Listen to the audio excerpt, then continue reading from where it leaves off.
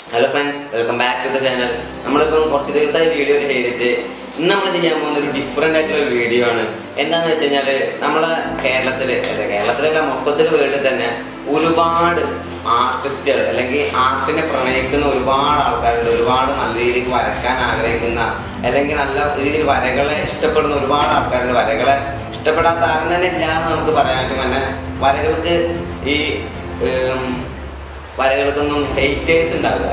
അതാണ് ഇതൊരു പ്രത്യേകത. ആ ഒരു കഥയുടെ പ്രത്യേകത അതാണ്. അപ്പം ഒരുപാട് ആൾക്കാർ ഇതിനെ ഇഷ്ടപ്പെടുന്നു. നല്ല രീതിയിൽ വരക്കാൻ ആഗ്രഹിക്കുന്നു. നല്ല രീതി നല്ലൊരു ആർട്ടിസ്റ്റ് ആവണമെന്ന് ആഗ്രഹിക്കുന്ന ഒരുപാട് ആൾക്കാരുണ്ട്. പക്ഷെ അവർ വിചാരിക്കുന്ന രീതിയിലൊന്നും അവർക്ക് അവരുടെ ആ വരകളെ കൊണ്ടെത്തിക്കാൻ കഴിയുന്നില്ല. ഒരു ഫിനിഷിംഗ് പോയിന്റിൽ കൊണ്ടെത്തിക്കാൻ കഴിയുന്നില്ല. പലരും വരക്കുന്ന ചിത്രങ്ങൾ ഫിനിഷിംഗ് ആവുന്നില്ല. റിയാലിറ്റി കിട്ടുന്നില്ല. മൊത്തത്തിൽ കോലക്കെട് ഒക്കെ വരുന്നു അങ്ങനത്തെ ഒരു പ്രശ്നങ്ങളൊക്കെ വരുന്നുണ്ട്. ഉദാഹരണത്തിന് പറയുകയാണെങ്കിൽ ഒരാളൊരു ഫേസ് വരയ്ക്കുകയാണെങ്കിൽ ആ ഒരു നമ്മൾ വരക്കുന്ന ഫേസിനോട് യഥാർത്ഥ ഫേസ്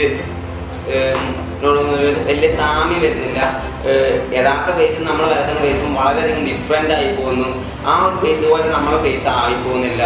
വരക്കുന്ന കണ്ണ് ഒരു കണ്ണ് വലുതായി പോവുക മറ്റേ കണ്ണ് ചെറുതായി പോവുക കണ്ണുകൾ തമ്മിൽ അകലം കൂടുക അകലം കുറയുക റേഷ്യോ തെറ്റിപ്പോവുക മൂക്കും കണ്ണും നമ്മൾ റേഷ്യോ തെറ്റിപ്പോവുക അകലം കൂടുക അകലം കുറയുക. ഇതൊരു ഒരുപാട് പ്രശ്നങ്ങൾ ഈ വരയ്ക്കുന്നതിനൊക്കെ ഒരുപാട് മെത്തേഡുകളും ഒരുപാട് ടിപ്പുകളും ട്രിക്കുകളൊക്കെ ഉണ്ട്. ഇതൊക്കെ ഫോളോ ചെയ്ത് നമ്മൾ വരയ്ക്കുകയാണെങ്കിൽ നമ്മൾ വരക്കുന്ന ചിത്രം ഭയങ്കര പെർഫെക്റ്റ് ആയി മാറിയ മാറ്റാൻ നമുക്ക് കഴിയും. അപ്പൊ നമ്മൾ അതുപോലെ കുറച്ച് ട്രിക്കുകളും ടിപ്സുകളും കുറച്ച് വരക്കുന്ന മെത്തേഡുകൾ മെത്തേഡുകളൊക്കെയാണ് നമ്മൾ പറയുന്നത്. ഈ ഒരു വീഡിയോ നിങ്ങൾ സ്കിപ്പ് ചെയ്യാതെ മുഴുവനായി കാണുകയാണെങ്കിൽ നിങ്ങൾക്ക് ഉറപ്പായും നൂറ് ശതമാനം ഉറപ്പായിട്ടും ഈ ഒരു വീഡിയോ നിങ്ങൾക്ക് നല്ല രീതിയിൽ ഹെൽപ്ഫുൾ ആകും. ഞാൻ ട്രസ്റ്റ് മീ ഉറപ്പായി നിങ്ങൾക്ക് ആ ഒരു ഹെൽപ്ഫുൾ ആയിരിക്കും. പലരും ചിത്രം വരക്കുന്നത് മൂന്ന് നാല് മണിക്കൂറൊക്കെ എടുത്തായിരിക്കും. പക്ഷെ നമ്മൾ ഈ ഒരു ടിപ്പുകൾ ടിപ്പും ട്രിക്കും അതുപോലെ തന്നെ ഈ ഒരു എന്താ പറയാ ഈ മെത്തേഡ് നമ്മൾ യൂസ് ചെയ്ത് നമ്മൾ വരയ്ക്കുകയാണെങ്കിൽ നമുക്ക് ആ ഒരു മൂന്ന് നാല് മണിക്കൂർ കൊണ്ട് വരച്ച് തീർക്കുന്ന നമുക്ക് വെറും അരമണിക്കൂർ കൊണ്ട് മുക്കാൽ മണിക്കൂർ കൊണ്ടൊക്കെ വരച്ച് തീർക്കാൻ കഴിയും. അപ്പം അങ്ങനത്തെ കുറച്ച് ടിപ്പുകളും ട്രിക്കുകളും കുറച്ച് മെത്തേഡുകളൊക്കെ നമ്മളിന്ന് പറയുന്നത് അപ്പം വീഡിയോ നമുക്ക് എന്തായാലും നിങ്ങൾ വീഡിയോ മുഴുവനായി കാണുക. അതുപോലെ നമ്മുടെ ചാനൽ നിങ്ങൾ ഇതുവരെ സബ്സ്ക്രൈബ് ചെയ്തില്ലെങ്കിൽ എന്തായാലും സബ്സ്ക്രൈബ് ചെയ്യുക. തൊട്ടടുത്താണ് ബെല്ലേക്കൊന്ന് എനേബിൾ ചെയ്യുക. അപ്പോൾ നമുക്ക് നേരെ വീഡിയോ പോകാം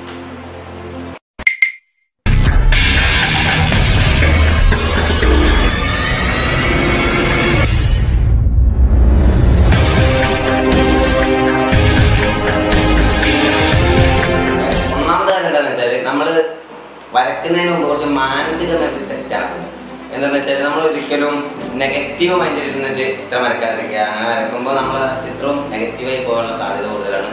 രണ്ടാമത്തെ എന്താണെന്ന് വെച്ചാൽ നമ്മൾ വരക്കുമ്പോൾ നല്ല ക്ഷമയോടുകൂടി വരക്കും നമ്മൾ ക്ഷമയോടുകൂടി എത്ര എത്ര ക്ഷമയോടുകൂടി നമ്മൾ വരക്കുന്നു അത്രയും നമ്മുടെ ചിത്രം പെർഫെക്റ്റ് ആയിരിക്കും.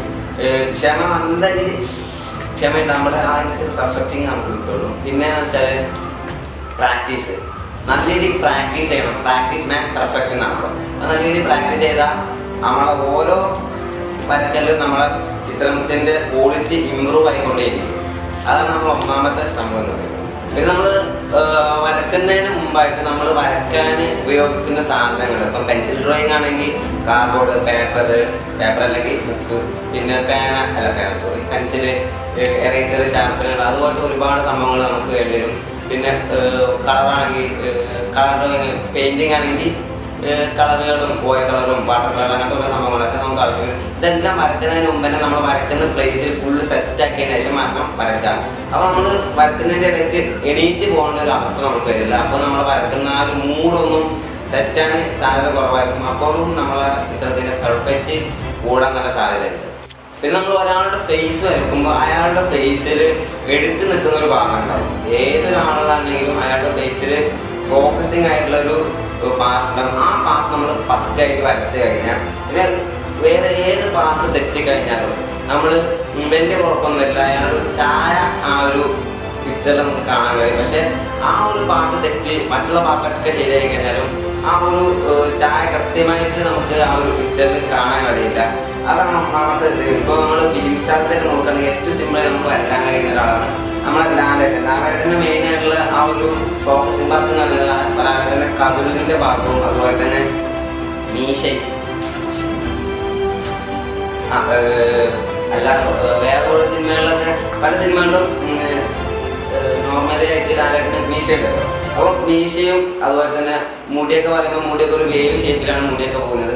അപ്പൊ അതൊക്കെ നോക്കുമ്പോൾ ലാലേട്ടന്റെ ആ ഒരു ഫിഗർ നമുക്ക് കറക്റ്റായി കിട്ടുമായിരിക്കും. ബാക്കി ഏത് ഭാഗം തെറ്റി കഴിഞ്ഞാലും ഈ ഒരു ഭാഗങ്ങളൊക്കെ ശരിയാക്കി കഴിഞ്ഞാൽ ലാലേട്ടന്റെ ഫിഗർ നമുക്ക് കിട്ടും. അതുകൊണ്ട് നമുക്ക് ഇന്ന് ലാലേട്ടനെ ജസ്റ്റ് ഒന്ന് വരച്ചിട്ട് പ്രാക്ടീസ് ചെയ്ത് നോക്കാം. നമ്മൾ ലാലേട്ടന്റെ ഈ ഒരു പിക്ചറാണ് വരക്കാൻ പോകുന്നത്. ഇത് ഫുള്ള് കളർഫുൾ ആയിട്ടുള്ള ഒരു പിക്ചർ ആയതുകൊണ്ട് തന്നെ നമ്മൾ ഇതിന് ബ്ലാക്ക് ആൻഡ് വൈറ്റ് ആക്കണം. നമ്മൾ പെൻസിൽ ഡ്രോയിങ് ചെയ്യുമ്പോഴും കളർഫുൾ ആയി കഴിഞ്ഞാൽ നമുക്ക് കറക്റ്റ് ആയിട്ട് അതിന്റെ ഷെയ്ഡിങ് ഐഡന്റിഫൈ ചെയ്യാൻ പറ്റില്ല. പക്ഷെ ബ്ലാക്ക് ആൻഡ് വൈറ്റ് ആയി കഴിഞ്ഞാൽ നമുക്ക് കറക്റ്റ് ആയിട്ട് അതിന്റെ ഷെയ്ഡിങ് ഐഡന്റിഫൈ ചെയ്യാൻ കഴിയും. അതുകൊണ്ട് തന്നെ നമ്മൾ ഫുൾ ബ്ലാക്ക് ആൻഡ് വൈറ്റ് ആക്കി എടുക്കുക. പിന്നെ നമ്മൾ മെയിൻ ആയിട്ടുള്ള ഒരു ട്രിക്കാണ് നമ്മൾ ഗ്രിഡ് ഗ്രിഡ് ഉപയോഗിച്ച് വരക്കുമ്പോൾ ഇപ്പൊ പലർക്കും ഉണ്ടാകുന്ന പ്രശ്നമാണ് ഒരു പിക്ചർ നമ്മൾ വരക്കുമ്പോൾ ഒരാളുടെ ഫേസ് നമ്മൾ വരക്കുകയാണെങ്കിൽ അയാളുടെ കണ്ണ് വലുതായി പോവുക കണ്ണ് ചെറുതായി പോവുക. അതുപോലെ തന്നെ കണ്ണുകൾ തമ്മിലുള്ള ഗ്യാപ്പ് മുഖം മൊത്തത്തിൽ ചെരിഞ്ഞു പോവുക ചുണ്ട് തെറ്റിപ്പോവുക ചുണ്ടിന്റെ തമ്മിലുള്ള ഗ്യാപ്പ് ഒരുപാട് പാട്ടുകൾ തമ്മിലുള്ള പ്രശ്നങ്ങളൊക്കെ മൊത്തത്തിൽ ഫേസ് അങ്ങനെ തടിച്ചു പോകാൻ പ്രശ്നങ്ങൾ ഈ ഒരു പ്രശ്നങ്ങൾ തൊണ്ണൂറ്റൊമ്പത് ശതമാനം പരിഹരിക്കാൻ കഴിയുന്നത് ഗ്രിഡിലൂടെയാണ്. ഗ്രിഡ് എന്ന് പറയുമ്പോൾ പണ്ട് കാലത്തൊക്കെ ഗ്രിഡ് നമ്മൾ പെൻസിൽ കൊണ്ട് ഒരു ചിത്രത്തിൽ വരച്ചിട്ട് അത് മറ്റേക്ക് പകർത്താൻ. ഇപ്പം മൊത്തത്തിൽ ആധുനിക യുഗം ആയതുകൊണ്ട് തന്നെ ഗ്രിഡിന് ഒരുപാട് ആപ്പുകൾ നമുക്ക് പ്ലേ സ്റ്റോറിൽ ഫ്രീ ആയിട്ട് അവൈലബിൾ ആണ് അപ്പോൾ ഞാൻ നിങ്ങൾക്ക് സജസ്റ്റ് ചെയ്യുന്ന ഒരു ആപ്പ് എന്ന് പറഞ്ഞാൽ ഈ ഒരു ആപ്പാണ്. ഇത് grid maker drawing grid maker എന്നാണ് ഈ ആപ്പിന്റെ പേര് വരുന്നത്. ഇത് വളരെ സേഫ് ആണ്. അതുപോലെ തന്നെ എം ബി വളരെ കുറവാണെങ്കിലും ഒരുപാട് ഫെസിലിറ്റീസ് നമുക്ക് ഈ ഒരു ആപ്പിൽ അവൈലബിൾ ആണ്. ഈ ആപ്പിൽ നമ്മൾ ഓൺ ആയി കഴിഞ്ഞാൽ നമുക്ക് ഫസ്റ്റിന്റെ ഒരു ഇതിൽ നമുക്ക് കാണാൻ കഴിയും. പിക്ചറിന്റെ ഒരു അതിൽ നമ്മൾ പിക്ചർ സെലക്ട് ചെയ്ത് കഴിഞ്ഞാൽ പിന്നെ നമുക്ക് പിക്ചർ ഗ്രിഡ് ചെയ്യാം. അതുപോലെ തന്നെ ബ്ലാക്ക് ആൻഡ് വൈറ്റ് ചെയ്യാം. സ്ക്വയർ ആക്കാം. അല്ലെങ്കിൽ സ്ക്വയർ അല്ലാതെ ആക്കാം. അതുപോലെ തന്നെ നമുക്ക്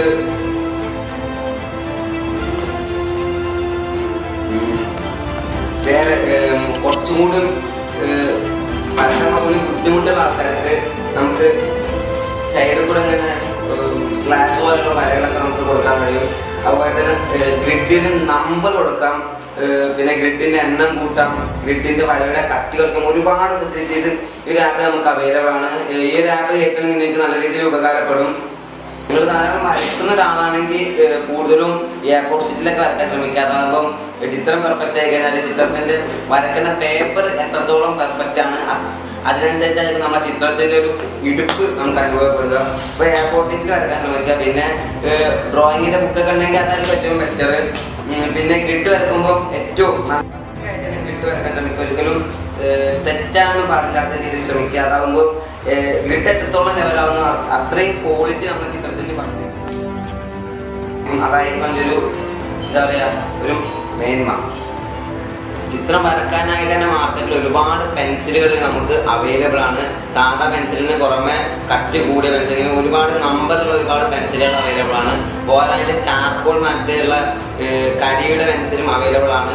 ഇതൊക്കെ നമുക്ക് അവൈലബിൾ ആണെങ്കിലും ഇതൊക്കെ പ്രൊഫഷണൽസ് യൂസ് ചെയ്യുന്ന സാധനമാണ്. നിങ്ങൾ ഒരു തുടക്കക്കാരനാണ് ഒരു ബിഗിനേഴ്സ് ആണെന്നുള്ള ഉണ്ടെങ്കിൽ നിങ്ങൾക്ക് ഇതിന്റെ ആവശ്യമൊന്നുമില്ല. സാധാരണ ഒരു അക്സലന്റ് ഒരു എക്സ്ട്രാ ഡാർക്ക് പെൻസിൽ മാത്രം മതി. ഈ ഒരു നല്ല പെർഫെക്റ്റ് ആയിട്ട് ചിത്രം നമുക്ക് വരക്കണമെങ്കിൽ ആ ഒരു ചിത്രം ഉണ്ടെങ്കിൽ പെൻസിൽ ഉണ്ടെങ്കിൽ തന്നെ നമുക്ക് അത്യാവശ്യം നല്ല രീതിയിലുള്ള ഒരു ചിത്രം നമുക്ക് ഉണ്ടാക്കിയെടുക്കാൻ കഴിയും. ഇതൊക്കെ നമ്മൾ നമ്മൾ നല്ല പക്കയായി കഴിഞ്ഞാൽ പിന്നെ നമുക്ക് ഓരോ പടി പടി ഇങ്ങനെ കയറി കയറി പെൻസിലിന്റെ ക്വാളിറ്റി കൂട്ടുക.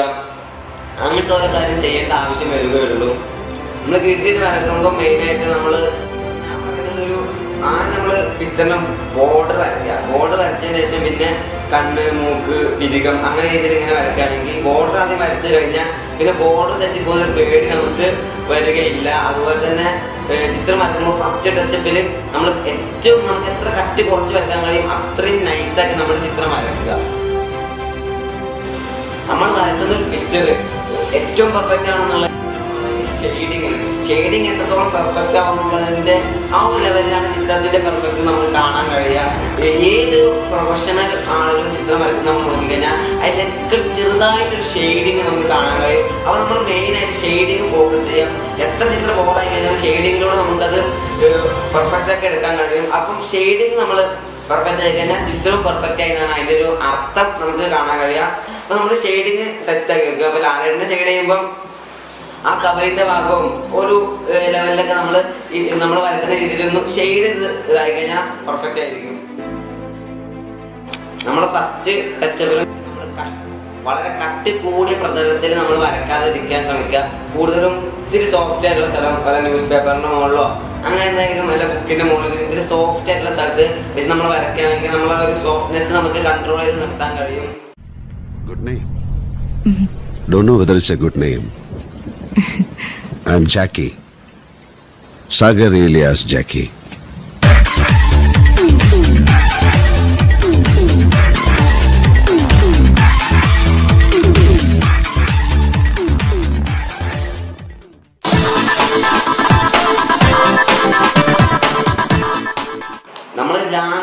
Last ആകുമ്പോൾ നമ്മൾ എത്ര കട്ടി കൂട്ടി വരയ്ക്കാൻ നമുക്ക് ശ്രമിച്ചാലും നമ്മൾ പെൻസിലിൽ ഒരു കട്ടിക്ക് അനുസരിച്ച് നമ്മളെ ചിത്രത്തിന് ആ കട്ടി നമുക്ക് കാണാൻ കഴിയുള്ളൂ.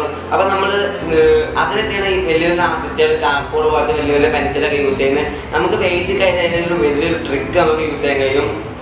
നമ്മളിതാ ഇതുപോലത്തെ ഒരു ഗ്ലാസ് ഇതുപോലത്തെ ഗ്ലാസ് എന്ന് പറഞ്ഞാൽ സാധാരണ ഗ്ലാസ്സോ അല്ലെങ്കിൽ പ്ലെയിൻ ആയിട്ടുള്ള ഗ്ലാസ്സോ ടൈലോ അങ്ങനെ എന്തെങ്കിലും എന്റെ മുകളിൽ നമ്മൾ നമ്മൾ നല്ല കട്ടിൽ വരയ്ക്കുകയാണെങ്കിൽ നമുക്ക് നമ്മൾ വരക്കുന്ന കട്ടിനെക്കാട്ടി എക്സ്ട്രാ ആയിട്ട് നമുക്ക് കട്ടി നമുക്ക് കിട്ടും.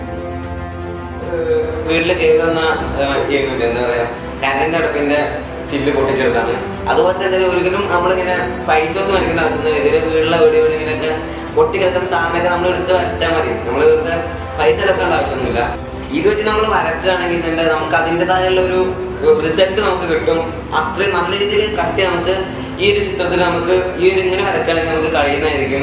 പിന്നെ നമ്മൾ പറയാൻ പോകുന്ന ലാസ്റ്റ് സംഭവം ബാക്ക്ഗ്രൗണ്ട് നമ്മൾ ചിത്രത്തിന്റെ ബാക്ക്ഗ്രൗണ്ട് ചെയ്യാൻ ഷെയ്ഡൊക്കെ ആയിട്ട് നമ്മൾ ബാക്ക്ഗ്രൗണ്ട് ചെയ്യുകയാണെങ്കിൽ നമ്മുടെ ചിത്രം ഇരട്ടി എന്ന് പറയില്ലെങ്കിൽ അത്യാവശ്യം നല്ല രീതിക്ക് എഫക്റ്റ് ഇരട്ടി എഫക്റ്റ് കൂടുതലെങ്കിൽ ഒരു എഫക്റ്റ് നമുക്ക് കൂടുന്നതന്നെ നമുക്ക് പറയാൻ കഴിയും. കാരണം ആ ചിത്രത്തിന്റെ ബാക്ക്ഗ്രൗണ്ട് ഒരു വേറെ കളർ വരുമ്പോൾ നമുക്ക് അതിനനുസരിച്ചുള്ള ഒരു എഫക്റ്റ് നമുക്ക് കാണുന്നവർക്ക് ചിത്രത്തിന് കിട്ടുന്നതായിരിക്കും. നമ്മൾ ഇപ്പം പറഞ്ഞ രീതിയിൽ വരച്ച ചിത്രമാണ് ഇത് കണ്ടില്ല ലാലേട്ടനെ കറക്റ്റായി നമുക്ക് ആ ഒരു ഫിഗർ ലെവലായി കണ്ടിരുന്നു നമ്മളെപ്പോഴും മുടിയും അതുപോലെ താടിയൊക്കെ വരക്കുമ്പോൾ മുടിയുടെയും താടിയുടെ ഒക്കെ ഷേപ്പ് എങ്ങനെയാണോ ആ രീതിയിൽ തന്നെ നമ്മൾ വരക്കാൻ ശ്രമിക്കുക. അല്ലാതെ കോലം കെട്ടിൽ കുത്തി വരച്ച് വരക്കാൻ ശ്രമിക്കല്ല. ആ രീതി ഇപ്പം മീശ അടിയിക്കാണെങ്കിൽ മീശ അടിയിക്ക് വരക്കുക അല്ലാതെ സൈഡിലേക്ക് ഒന്ന് വരച്ച് കഴിഞ്ഞാൽ ആ ഒരു ഫിഗർ കറക്റ്റായി നമുക്ക് കിട്ടൂല. പെർഫെക്റ്റ് ആയിട്ട് നമുക്ക് റിയാലിറ്റി രീതിയിൽ നമുക്ക് കിട്ടൂല. ഇതിപ്പോൾ ബാക്ക്ഗ്രൗണ്ട് വരച്ചുകൊണ്ടൊക്കെ ഇതിന് ഇരട്ടി എഫക്റ്റ് നമുക്ക് കാണാൻ കഴിയുന്നുണ്ട് This deal is with the devil.